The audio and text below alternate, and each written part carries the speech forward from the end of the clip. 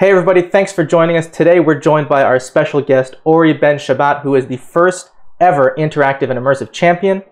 Hello, my friend. How are you doing today? Good, very good. Thanks, Abel. And how does it feel to be the first winner of the Interactive and Immersive Championship? Wow, how is it feel? You know, it's it's it's it's hard to define because it's on so many levels. You know, it's on the professional level, community, social level, Mm-hmm. Um, it's pretty exciting. I, I, I, mean, as one that wasn't so involved in the community and the forums and just, you know, heard about people like you or Matthew or Greg, kind of just from, you know, nibbling through mm-hmm. websites, mm-hmm. um, suddenly being there in front line, you know, and actually winning it, right, uh, blew my mind, you know. And for people who maybe don't know you know who you are, kind of what your background is. Can you tell us a little bit about yourself? Maybe how you picked up Touch Designer, what kind of work you're doing with it. Um, yeah, sure. I, I know it's it's kind of I guess like i will try to make a long story short. Um, when I was really young, like like like toddler or like uh, between toddler and high school, I think my my passion was like Lego. My parents my parents camera, which mm. back then was just like I know funny tapes, and I used to do and and and and and film. So basically, it's like Lego. I built like all kind of lawnmowers and and and all machinery, and I used the camera to do like stop motion magic with my sister.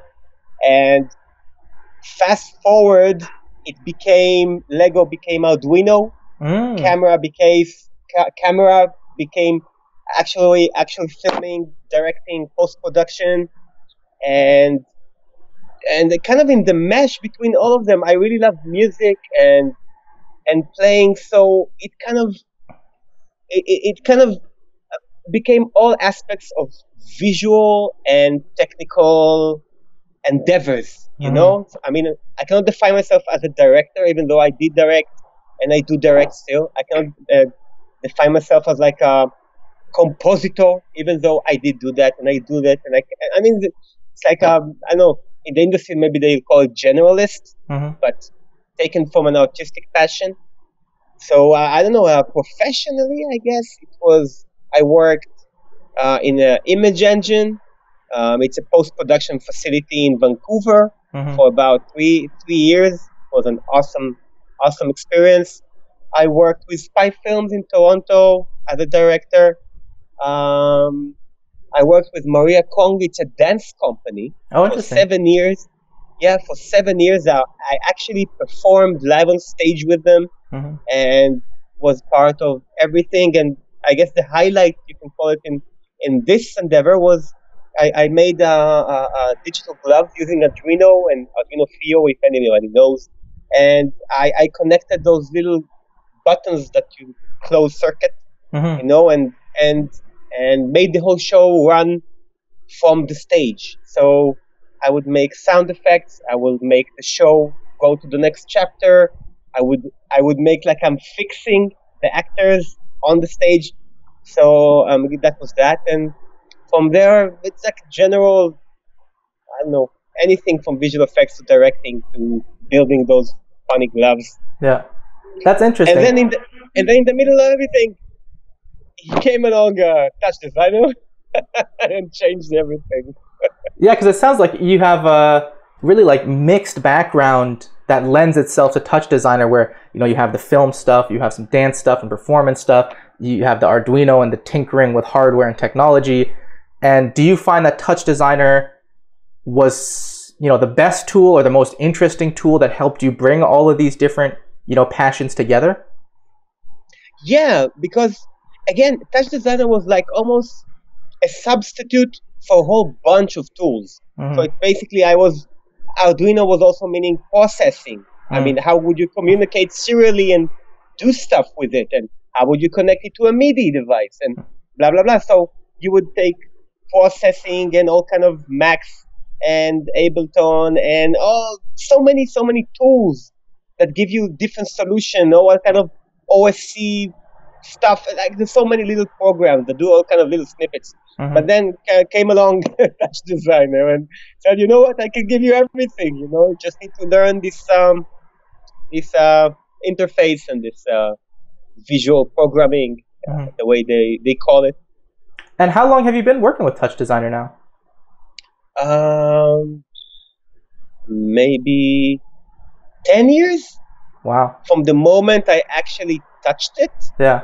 Till till now. I mean, I mean, again, I, I would bring up this dude Ronan Tanchum, which is a good friend of mine, but he also kind of at the first at the first times, you know, you really you really need someone to take you by the hand because it's such an unknown territory. I mean, you I do I did work with um with um uh, with node based programs like Nuke and, and Maya, I guess, are the 3D program. It is a bit of node based, but for some reason, Touch Designer it's more like Houdini Mhm. and Houdini is like and Houdini and Touch Designer it's kind of like a whole different ball game. Yeah. So you have to have a little bit of a, a thread leading you in. And my thread was on intention, which was uh, very happy to.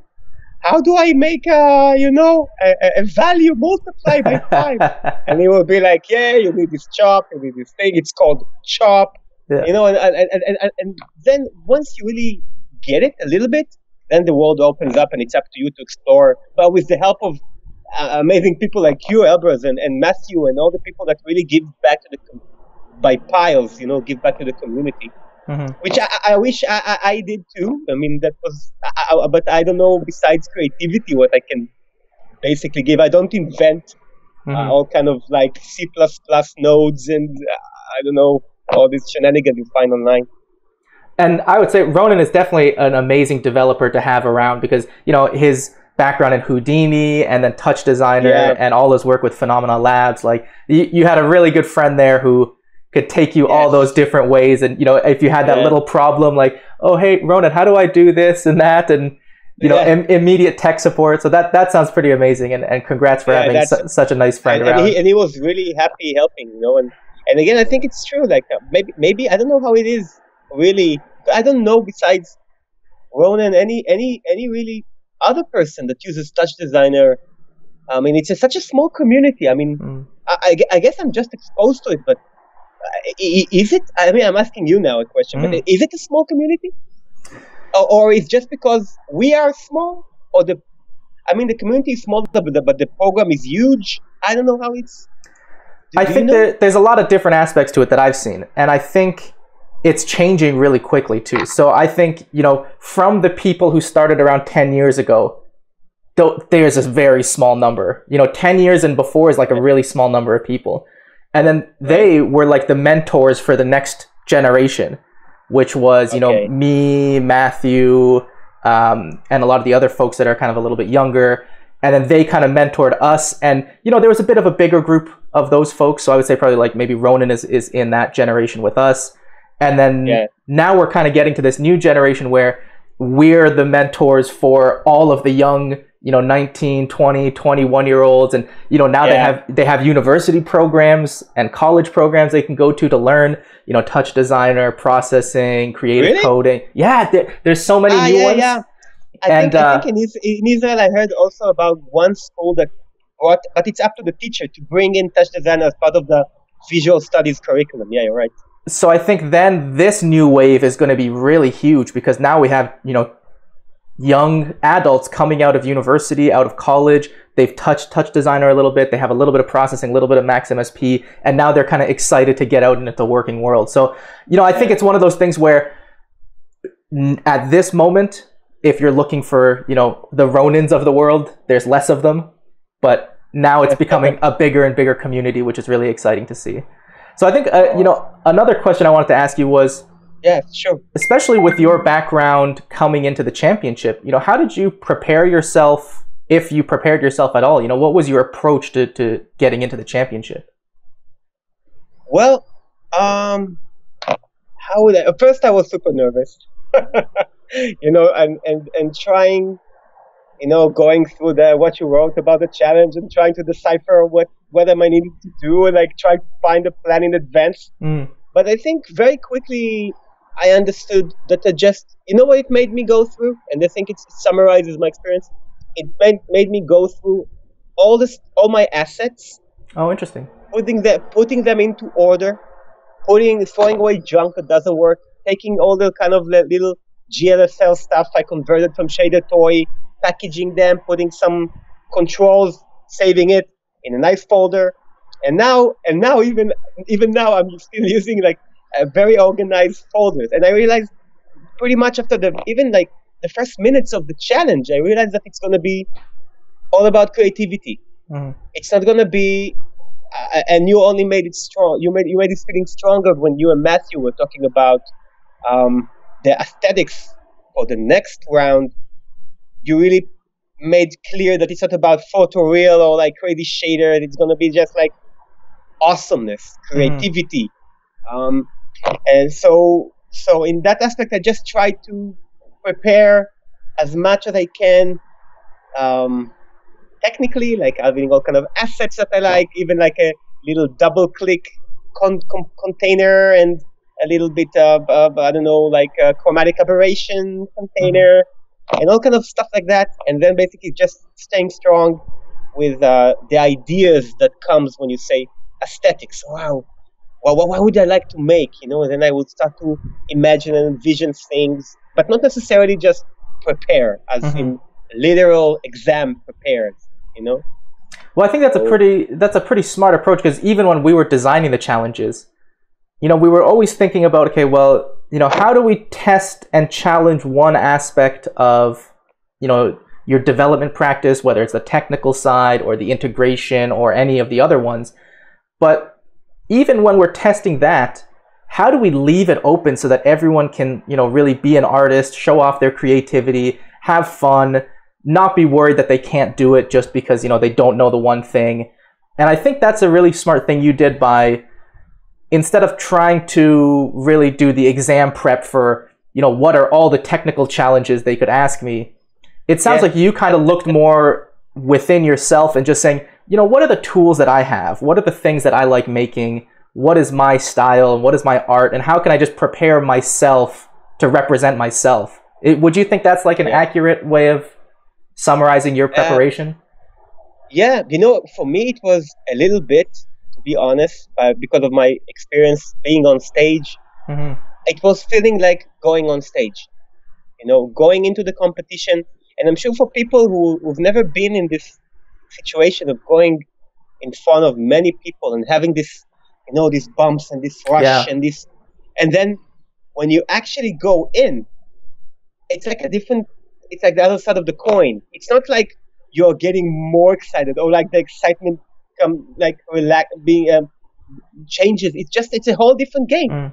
Suddenly, boom! You're like, are you in the zone? Are you nerve? Like, are you not in the zone? It's like a whole different conversation, and it felt a lot like that. Mm. You know, even even like after the, I mean, I, I cannot. Uh, I, I was hyped by by my success, so I cannot say how it was without being in that hype. But even after that, it felt like a good show. Mm. You know, like I gave a good show, and and we did it, and all the people backstage back at the Discord forum was so nice, and so you know, like I was like, uh, "Hi, I'm Ori," kind of like. I, I, you know, I, I've never, I've never done something like that. Also, socially, so for me, it was like a whole, a whole, uh, whole experience, a whole experience, a whole as in like complete package. Well, I, I'm hoping also that now the experience of the social side kind of lures you in, and now we'll see you on the Touch Designer Discord and more on the forums, hanging out. Because uh, I, I wish, you know, I, I wish, you know, even this is something I can even ask you or like anybody who's listening. How, how would someone that, you know, I, I, I- cannot say I'm shy Hmm. in the sense of like, like uh, embarrassed, but it's it's it's overwhelming, you know. And I'm not a techno, I'm not a technophobic, you know, Hmm. like um, that's what I do, right? But still, there's something about this social media that,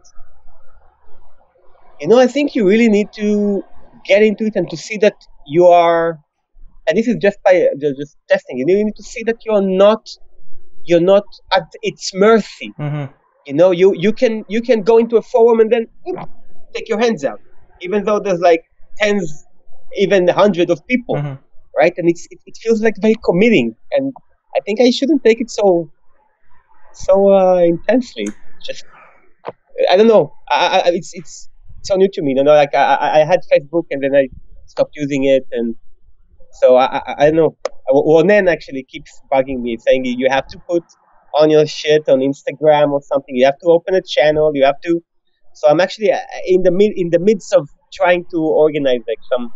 I'm trying to create a show, mm-hmm. some some kind, and it's part. And this competition and this uh, involvement in the social media aspect of it made me go through that a bit, which is I'm still in the midst of it mm-hmm. right I, I think there's two ways to think about it. So like on the one side, there's more of the private social community, you know, like the forum, Touch Designer, Discord. Right. I think those places are a little bit more relaxed and especially less commitment just because it's it's almost more just like we're chatting and then you're like, "Oh, hey, I have to go for dinner, like I'll be back later." And I think those places right. are fine. I, I would recommend everybody joins, you know, the forum, the Touch Designer Discord there. As you saw, everyone is so nice and supportive. It's really like a love fest a little bit. And then I guess on the social media side, you know, like Facebook, Instagram, these kind of things, if I had one just small piece of advice, it would be don't become a slave to the numbers. Because I think that's the, you know, that grip that you're talking about is when, you know, you're, you're looking at the follow count every hour and you're looking at how many likes people have put on this, the post. And then, then you get emotionally affected, you know, when one thing gets a lot of likes and the other thing doesn't get likes you start questioning your art. You know, was this art good? Like people didn't like it. And I think that's, you just have to ignore all that and treat it mm. almost like what you're saying. Treat it like a show. You know, I, I remember when I was a musician, sometimes we'd play a club, there'd be five people. Sometimes we play it, there'd be 500, but you still play it the same way every time. It doesn't matter. Yeah. It doesn't matter if there's five people or 500. You play the best you can and then you're happy with how you played. And I think if you have that approach to social media as well, just post your stuff out there, share your your art, your creativity, your love for what you do. Don't worry about the numbers. You know, those are those are how they get you. Don't don't worry about the numbers. You know, just post it. Almost treat it like a website portfolio. You know, you're not on your website every day checking Google Analytics yeah, yeah, to yeah. see who clicked on which. You know, that we don't do that. So why would we have to do that in social media? I think. Yeah, actually, you're right. One of my thoughts was like, it's just an online portfolio. Mm-hmm. Don't don't worry about it too much. It's not like you're like on some podium exactly right the world they, they make know? it feel like, like, you're on a podium but you're, you're really not on any podium yeah no you're at home and you can go like bye yeah exactly exactly um, so out of all the challenges yeah. i'm curious to see which one was your favorite challenge to go through well uh, my favorite challenge of course was the, the aesthetics just because uh, I, I, even I, you know, like I'm pretty humble. You know, I, I, I still question my uh, my professionalism every day. Mm. Even though, even though getting a first prize on on this some championship, you know, I still feel did I deserve it? Was I am I good enough? Am I like was it fair? You know, like keep questioning, questioning. But the aesthetics, I feel like it was really good. Generally, mm. you know, there was something really creative about it, and I think it was creative in the deepest sense of it. You know, I, will share something personal. Mm. The same day, I, I had like a little fight with my wife. Oh no! Right, and and I came through to the a little bit uh, depressed, you know, and um, and then I don't know if you know the magic. If you, I, am sure you do. I just I, am second expression, you know, and and uh, like the the magic of creation. Mm. It's when things fall into place without any kind of planning. And what fell into place was like, you know, maybe I should do something about it, the, the, way I feel, and and and put it into the art. And then like somebody at the forum was suggesting, was speculating that the aesthetics gonna will, will be involved some sort of some sort of like uh, uh, uh, landscape mm. challenge, you know. And I was like, oh wow. And then I was thinking about my wife and how we are doing it together. And then suddenly and, and suddenly you uh, the, the, there was a favorite artist and then like this and like everything led to this giant wheel of life mm. musical giant wheel of life where two people are just pushing the way for the music of life that's so beautiful that's amazing re- so so so it's really but it, that was really it yeah. the other challenges were like very oh this is how it can be cool to do this blah, blah, blah, and you do something but that was that was deep man mm. you know and and I'm really sharing. So that's why I like it. I think it. Sh- I truly. I really think it showed as well because you know, all the judges when we were looking at it, we are like, oh my god, like this is this is a real piece of beautiful art that we're seeing like get made so quickly Thanks. everything was falling into line and we're you know we saw the the sisyphus pusher the boulder pusher Yeah. and we were like oh that's cool what's he going to do with it and so that's a really amazing story to hear kind of the Yeah. the artistic kind of narrative behind it uh, and i. So so again, like sorry go ahead yeah i just just coming back to the question that Greg was asking me about if how I if I planned my timing Mhm. for it. Remember, I came through into this com- challenge, the with when you when I started. This is what I saw at the end. So it meant just like filling in the blanks, you know, Mm. rather than like creating and understanding what I'm doing as I'm doing it. And this is a big, I think this is a big, uh, big advice. If I have to give any kind of advice to whoever listens to it, it to have a good vision. Mhm.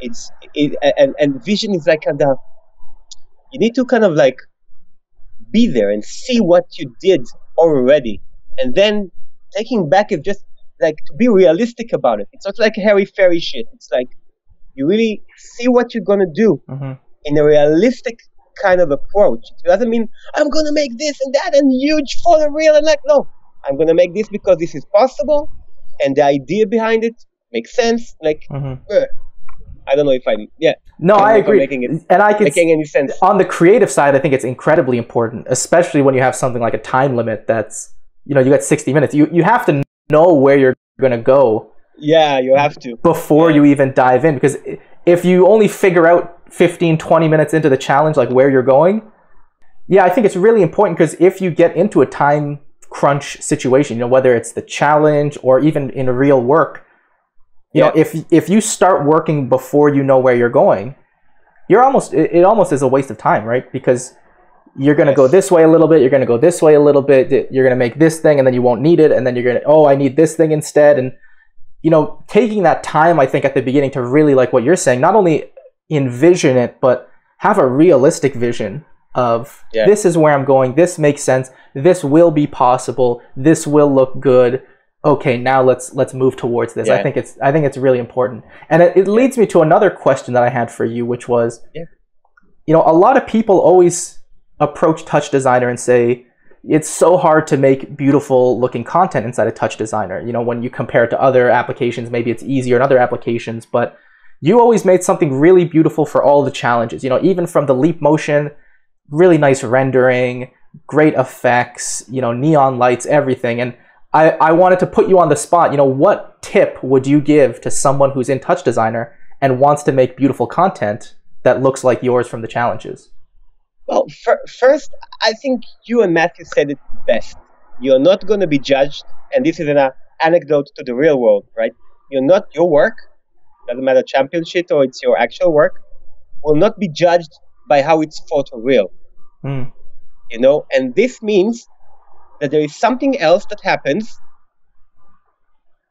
that makes it shine. For example, you know what? Any kind of modern day person who loves 3D, I encourage him to watch, let's say, Toy Story 4, Mhm. okay? And then go and watch Toy Story 1.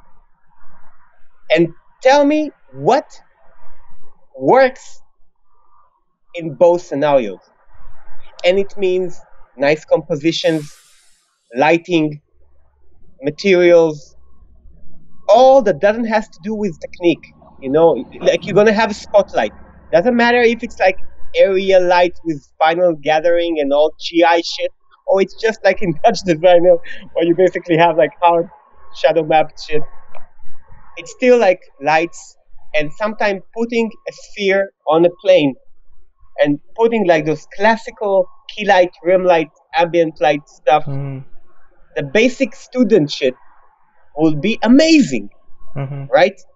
And and of course everything that's kind of like I don't know glow glow. I think it's a kind of like a little signature of mine. I love glow. I mean everybody can love glow. I mean that's something that I connected to that I like to put into the work. So so remember, it's not about photoreal. It's just about um, I don't know having having your own touch in it and um, and really understanding what it means to, to, to, do something beautiful. You know, mm-hmm. not not because it's photoreal, but uh, not to say that I wouldn't love to have all the Unreal not yeah. shit in ray tracing, path tracing? GI, everything. Like, Just turn all the buttons on. Yes, please. I would love to.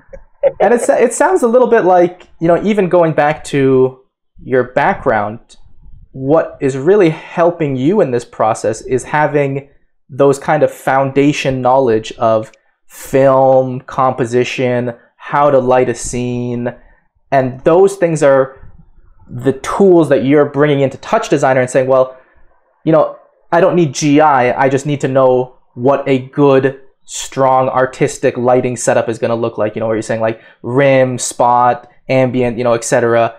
And yeah. I think that I would probably agree. Like, I think one of the, the toughest parts of Touch Designer isn't using Touch Designer, but it's realizing that you almost need to learn, you know, a different industry's little techniques and then you can come to touch designer and touch designer is really easy you know if it's chops if you know a little bit about audio processing and dsp yeah. you know chops are really easy and like you're saying if you know you know a bit about film and lighting and composition all of a sudden making 3d scenes that look good becomes really easy you know would you agree with yeah. that yeah totally totally totally and and i think that's what's special about touch designer because it almost feels like it's a tool for everyone mm. like i don't think i've ever been in any kind of working environment situation where touch designer couldn't be like a key to problem solving. You know, like I have a friend now. Um, I have a friend that uh, he did like the the uh, the structure and the stage design for the Boom Festival like four years ago, like in mm-hmm. sorry two years ago, and he has amazing designers and everything. You know, so I told him, hey, go into Tilt Brush give your artists to do what they do, right? Not that technical. I'm not gonna bomb them with any technical shit. Paint your stuff. Let's bring it in to Touch Designer, and then start to measure it. Start to mm. work with it. Like start to use it for your benefit. So it's it's like almost like a it's like a the the the, the MacGyver tool for for anything that has to do with physical digital relationship of any kind mm-hmm. it's really I, I think it's, it's really hard for me to to even explain this to someone that is not from the field that doesn't know what touch designer is it really sounds like you're talking about everything it's yeah. like the, it, it's like you know like stephen hawking was like I, I, einstein tried to do the theory of everything this is like the tool for like everything this this the software of everything the software of everything. I'd agree. I think it's definitely one of the tools where no matter where I am and what I'm working on, there's always a way to like incorporate it and yes. you know bring Touch Designer back into the mix a little bit. Yeah, um, I'm not talking. I'm not talking at all about uh, prototyping and proof of concept stuff. You know, this mm. is like, by far quite shine. Yeah, sorry. No, no problem. So I was gonna say, so now that you are the champion. You're getting a Notch Pro builder license, Touch Designer commercial license plus dongle, Trezor One hardware crypto wallet, six months subscription to the HQ Pro, a custom trophy. Ooh. You know, congratulations. You know, what's next for you? You know, whether it's uh, career wise or how do you think you know these prizes are going to help you just in your kind of day to day life? Oh, well, I think uh, first of all, I don't have the latest um, Touch Designer commercial license which means I haven't gone and started to work with the engine comp.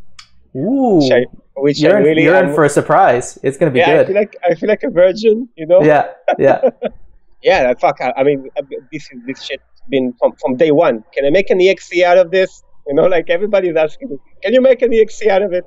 I'm like, no, you can't. You have to have the license for the software. But engine comp starts to feel like um, it's a it's it's fucking serious step. I think for the I don't know I don't know how derivative takes it, but from mm. a user standpoint, this is like I don't know making a render for a 3D program. Mm-hmm. I don't mm-hmm. know, you know. Um, so I, it will be I'll be I'll be happy to use it um, for uh, to have the latest and to keep exploring Touch Designer and using it for my little project of this. I have this project that I started talking about, which is um, um, I'm really into like augmented reality, which is for me it's like bullshit. Just live visual effects, you know, Mm. and to do um uh, I'm I'm trying to build this uh, show where it's like a not really a show, like you know, like I don't know what it is. It's any basically it's, I- want to connect with friends which are artists and musicians, and I want to give them a live interpretations, a live interpretation of their music. Mm. So it's basically basically imagine what I did for the aesthetics um, thing, but in real time on um, um, with uh, with a live device with a live video feed and um, all kind of like 3D mapping and matching. Oh, and, that'd be cool. you know, so it's like I'm I'm really into like like um, the first thing that blew my mind was Boujou. I think around Oh yeah. around 12 years ago, no, even more. When was it? I don't know. I think 2004. I think I I, I studied in Vancouver Film School, and uh, I remember passing into passing a, a class somewhere, and I was like, "Oh, what is that?" And I see a computer running a, a scene with a lot of l- little dots following all kind of uh, features. I was like, "What is that?" And but again, but the boom, you have uh, like a 3D scene that you can put stuff on. Mhm. So uh, now in Touch Design, we can do it in real time with the Vive, and it works amazingly. You know, amazingly. I do fiddle a lot about with uh, how to filter the data that you're getting from uh, from the Vive Mm. because it's very raw, you know, Yeah. and uh, and and how you're holding the camera and what kind of camera and stuff like that. But I like kind of the raw. So I'm trying to develop something like that, in which the Touch Designer commercial will be a great help. Um, and the notch license, I've, I've I've tried it a bit. I was like, wow, that's awesome graphics, but I didn't get it. I didn't find a project yet that that uh, demands something like that. I mean, Mm. I don't know why they, in Israel there's not in Israel the, the the community is not so big. You know, like um, if there's something I, I remember from the chat when deadmau5 was uh, chatting with another person over there, uh, it really was clear how big the industry is in Canada compared to Israel. You know, Mm. they start to talk about names and stuff, which is like all the stuff that I see online that I'm like, wow, you know, this school, this school, this school. And in Israel, you know, I, I hang out with people that this is also the kind of name dropping and stuff that they are talking about, but it's not as even like half as big as, as this. And um, so I, I, I don't have a very big excuse to use, to use Notch. I mean, I, at first I need to find a show that have enough budget to get a server to run Mhm. Notch, you know. so uh, Well, I think you're in luck now with the license. You got the HQ Pro subscription, so you can take our Notch course that tells you how to integrate it with Touch Designer, run it on the same Ooh. server. I think you're gonna love it. It's it's a So- so are really you- incredible are you are tool. you a Notch user? Are you a heavy Notch user? I'm getting there. I wouldn't say Oh. I'm the best Notch developer ever. You know, nowhere near my my Touch Designer skill up here and like my Notch skill, you know, somewhere over here. But Okay. uh, I'm really loving the tool.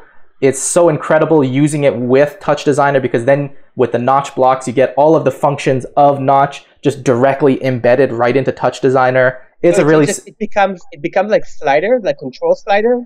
yeah, it's really cool. So the way it works is you essentially build your Notch application. Yeah. You know, your whole It's scene. exe file. don't you don't even need the it's better than an exe file you build the whole Oh, right. scene and then you go in notch and you say okay well all of these parameters i want these exposed when i Okay. bring this into touch designer then you export the dll from it the dfx dll which is like a little just package then you go Yeah. into touch designer and you say there's a notch top and in the notch top you say hey there's the notch dll that i just made and it makes custom parameters for all of the things that you told it to expose and then Wow. it it renders the whole scene perfectly using just notches as just as the viewer Notch.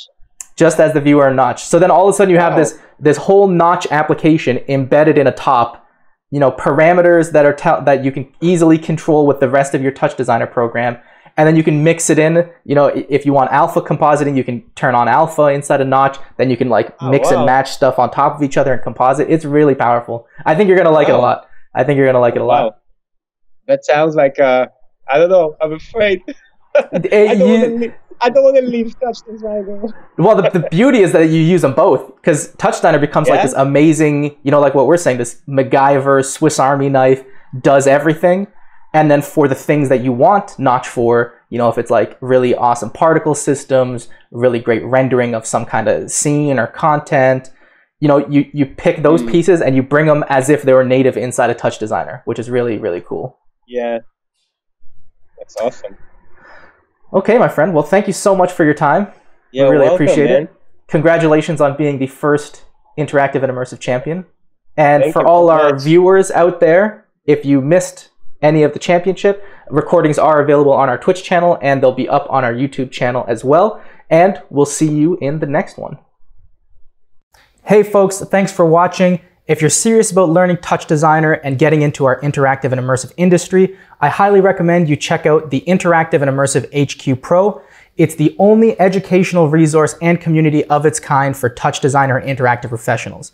You can click the link in the description to learn more about that. And if you like this video, hit that like button. And if you're new here, don't forget to hit subscribe and click on the little bell icon for more awesome free content.